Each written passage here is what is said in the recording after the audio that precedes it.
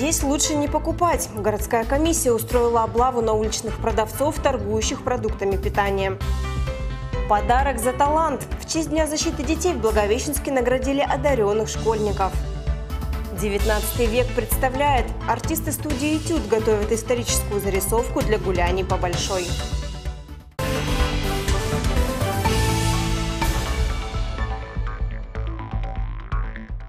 В эфире новости города в студии Мария Селезнева. Здравствуйте. Сегодня в Благовещенске было ограничено движение на перекрестке улиц Мухина и Игнатьевское шоссе. Рабочие устраняли там просадку грунта. Для автомобилистов правоповоротную полосу закрыли в 8 утра и приступили к ликвидации ямы, которая образовалась из-за просадки грунта. Последний повел себя так, видимо, из-за некачественного восстановления покрытия после устройства водовода в прошлом году. Дефект устраняла подрядная организация, которая и вела работы за счет собственных средств в рамках гарантийных обязательств. В окрестностях Благовещенска, возможно, появятся два официальных пляжа в Зазейском и на Чигиринском водохранилище. Об этом рассказали инспекторы ГИМС во время обследования мест отдыха. Мест отдыха, там, где купаться официально запрещено, в Благовещенске сейчас семь. На реке Зея в Белогорье, ручье Буяновском Маховой Паде, на Первом Владимировском озере, в поселке Зазейский, в районе переулка Связной и на Амуре от переулка Уралова до Мухина и от Мухина до Артиллерийской. Их сегодня в рамках открытия пляжного сезона проверили специалисты ГИМС и ГСТК. Смотрели наличие спасательных вышек, раздевалок, предупреждающих знаков. Все места соответствуют требованиям, однако по закону течение рек не позволяет устраивать здесь пляжи. Официальные места для купания, возможно, оборудуют на Чигиринском водохранилище и в Зазейском. Все зависит от подготовленности администрации, которая возложила обязанности на содержание вот этого места массового отдыха. Ну и по воде мы все привязаны к воде, соответственно. Если будет низкий уровень воды, температура воды будет позволять разрешить э, купаться людям, то мы будем открывать там место пляж. Две сотни протоколов за незаконную уличную торговлю выписали специалисты потребительского рынка с начала года. Зимой они боролись с продавцами стелек, весной клубники. С наступлением лета по поручению мэра Благовещенска Валентины Калиты особое внимание уделяют всем продуктам питания. Наша съемочная группа побывала в рейде с проверяющими.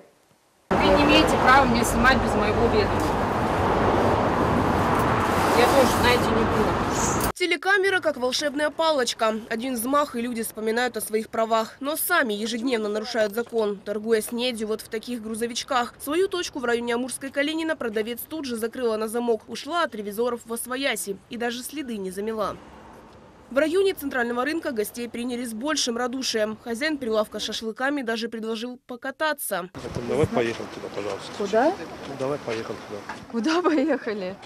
Ехать некогда, работы у комиссии видимо-невидимо. В одном месте продают жареное мясо, овощи, ягоды. Если ветеринарную справку о качестве свинины торговцы предоставили, с фруктами проблема. Нет документов. Покупатель Тамара Серкова об этом не знала. Говорит, на вкус всегда были неплохие. А что, нет у него документов? О, это плохо. Больше не будете здесь брать? Ну, если документов нет, конечно, нет. Тем более я беру внучки. Да, плохо. А почему он тогда торгует? У вас дети есть? У меня там тоже дети есть. Вы понимаете меня? Впрочем, избежать наказания дети не помогут. В товаре без особых справок может находиться инфекция. Добавляют жару пыль, что летит с проезжей части. Когда мы первый раз человека видим, мы ему объясняем, кто-то не местный, кто-то не знал, что нельзя здесь осуществлять торговлю. Второй раз, когда мы подходим, в тот же день, может быть, подойдем, и он все равно осуществляет торговлю, мы, конечно, составляем протокол. Вносится штраф от 1000 рублей до 5000.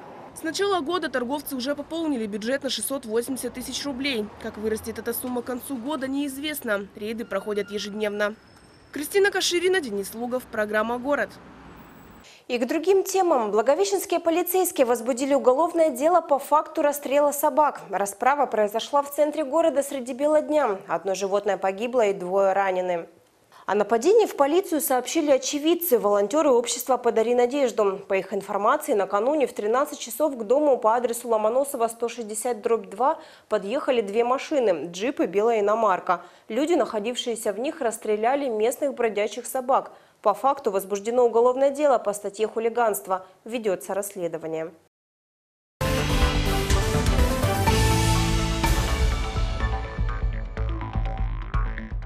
Сегодня Международный день защиты детей. Первое поздравление в рамках акции «С заботой о будущем» приняли самые маленькие горожане и их мамы, ожидающие выписки из роддома.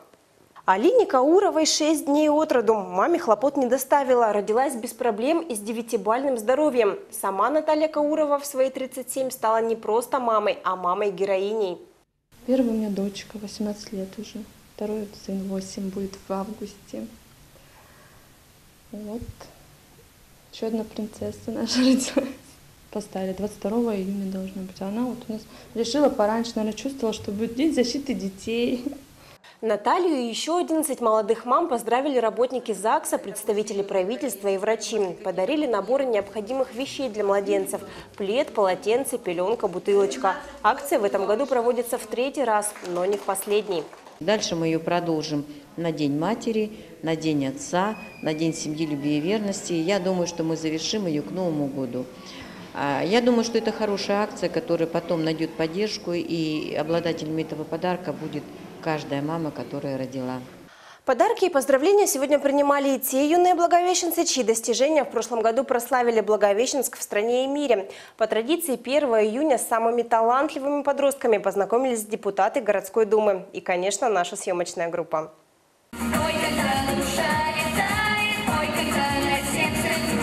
Эту задачу Валентин Шелковкин выполняет на все сто. За десятилетнюю карьеру успел выступить в Италии, Турции и Черногории. В Благовещенске пел дуэтом с композитором Григорием Гладковым, а летом прошлого года стал победителем международного фестиваля в Крыму. И это при том, что в вокальную студию четырехлетнего ребенка мама отдала, что называется, мимоходом, с целью общего развития. Я очень красиво рисовал, когда я был маленький, но петь я не умел. У меня брат э, был, он очень красиво пел, он в ноты попадал, мог подобрать подобрать там даже на фортепиано какую-то мелодию.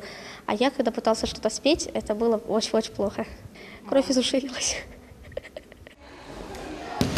Передняя подножка – один из коронных приемов Сергея Кругликова. Именно она на первенстве России в октябре прошлого года помогла одолеть одного из самых тяжелых, в прямом и переносном смысле слова, соперников – борца высшей весовой категории и победителя первенства Европы. И это несмотря на недавнюю травму колена. Впрочем, последняя свою роль все же сыграла.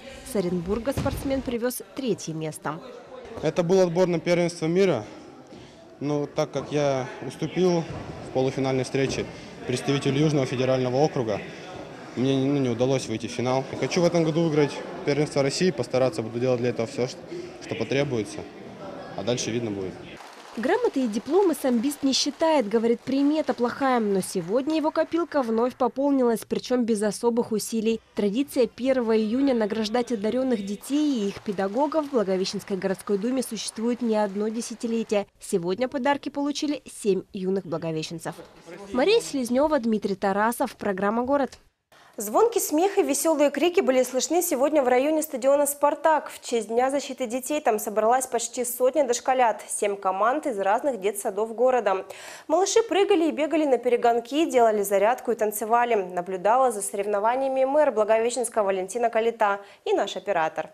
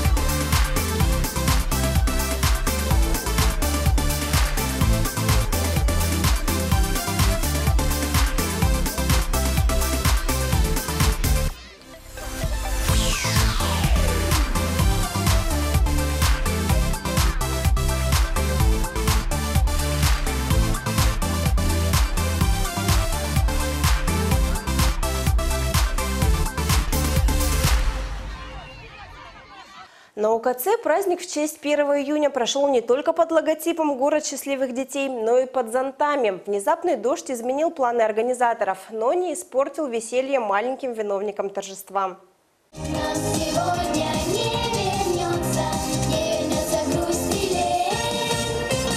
Маленькие горожане посмотрели концерт, покатались на каруселях, а самые рукастые попробовали создать лотос Комарова из бумаги. Веселый старт празднику позволило дать мимолетное солнышко и отличное настроение собравшихся, а некоторые взрослые гости окунулись в воспоминания о собственном детстве. Ну, во-первых, хотела бы сказать, это первый день лета. Он всегда был солнечный и теплый в моих воспоминаниях. Мы всегда проводили его вместе с семьей, ходили в кафетерии, ели мороженое, пили коктейли, проводили его с семьей. Но сегодня, к сожалению, день не такой яркий. Ну ничего. Внезапный дождь не остановил мальчишек и девчонок. Они общались, занимались спортом, а юным футболистам к таким сюрпризам вообще не привыкать. Весело под дождем бегать. Ну, гуляю с друзьями иногда. Ну вот, вчера я ходил на поле с друзьями, пинал мяч под дождем. Если хочешь эту песню, можешь другу подарить. Благовещенские дружинники помогли в раскрытии 13 административных правонарушений, произошедших с начала года. Итоги сотрудничества с правоохранительными органами они подвели на собрании своей общественной организации. Сегодня в городе действуют 4 дружины, 64 человека. В этом году они ходили патрулировать улицы 46 раз, участвовали в 11 общественных, культурных и спортивных мероприятиях, провели 13 поквартирных обходов совместно с участковыми. Особо отличившихся порядка 20 человек наградили благодарственными письмами от администрации города, полиции и руководства добровольной народной дружины.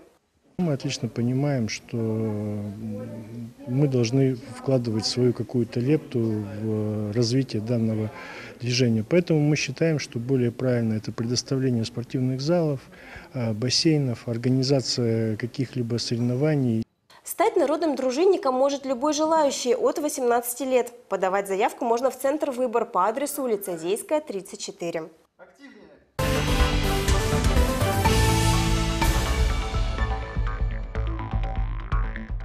7 июня на сцене ОКЦ прозвучат легендарные хиты «Нирваны», «Скорпионс» и других рок-групп. Их исполнит симфонический оркестр «Резонанс». На концерте совершенно бесплатно побывает наша постоянная телезрительница. Вопрос, заданный в традиционной рубрике «Лишний билетик», звучал так. Как с английского языка переводится слово «рок»? СМС с правильным ответом «камень» быстрее всех на редакционный номер прислала Юлия Дорофеева. На концерте она надеется услышать хиты любимой группы. Э, Вообще нравится Scorpions. Это очень мелодичные, очень красивые голоса. Сочетание красивой музыки, красивого голоса. Мне кажется, это вот рок и есть. Вокалисты хора детства вернулись с международного фестиваля, что прошел с 19 по 29 мая в городах Шанхай и Нанкин. Благовещенские музыканты были единственными участниками из России.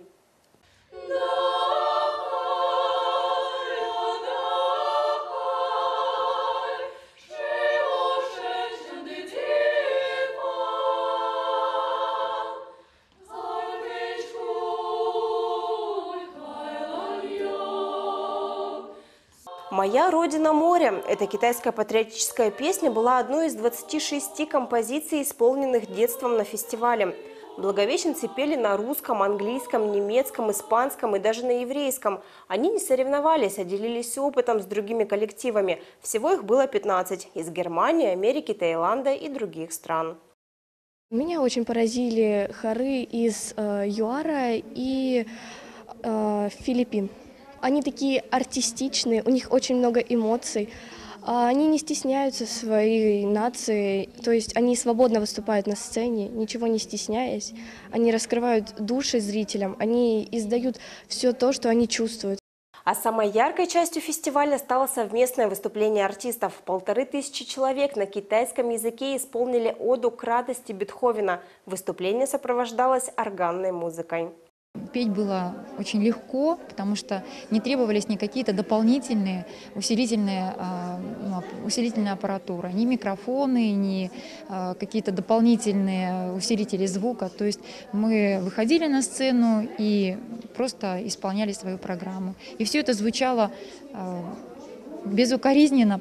Побывать на блошином рынке, увидеть ретро-автомобили и встретиться с историческими личностями горожане смогут в субботу. В честь дня рождения в Благовещенске пройдут очередные гуляния по Большой, которые в этом году будут в два раза масштабнее. Чем в день X развлекут зрители и артисты студии «Этюд», сейчас расскажем. Сашенька, там дети, займись покуда.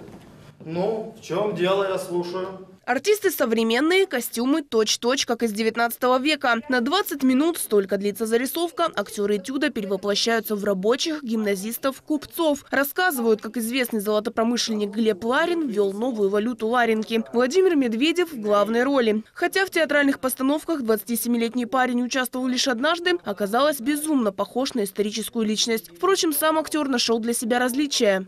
Он высокий, широкоплечий брюнет. Единственное, у него была шикарная борода с усами. У меня, к сожалению, не растет. Но я не расстраиваюсь, я верю, что когда-нибудь она появится. Он был серьезный, жесткий человек. Он по-доброму относился только к семье. Со своими работниками он всегда был жесткий, но справедливый. А я всегда добрый и веселый. Люблю шутить. Тут, тут глубина требуется. До премьеры два дня, а ребята до сих пор местами забывают слова. Причина есть. Очень сложный язык. Мы современные люди так, конечно, не разговариваем, как разговаривали наши э, предки в 1891 году. И приходится, конечно, соответствовать той эпохе. То есть это и осанка, это и культура, и речь. То есть вот поэтому приходилось учиться. А младшим участникам зарисовки пришлось учиться играть в пристенок и городки. Их не просто покажут, но и прохожих вовлекут. В этом году гуляния по Большой растянутся вдоль улицы Ленина от Островского до Пионерской. В районе последней горожан ждут музей, блошиный рынок и книжный развал. На улице Ленина живые скульптуры, газетчики и бродячие артисты. А на 50-летие октября развернется выставка домашних растений и ярмарка мастеров. Площадки будут работать с 17 до 20 часов. Подробную схему можно посмотреть на нашем сайте tvgorod.рф. Кристина Каширина, Денис Лугов, программа «Город». И это последняя новость на сегодня. Я желаю вам отличного вечера. До свидания.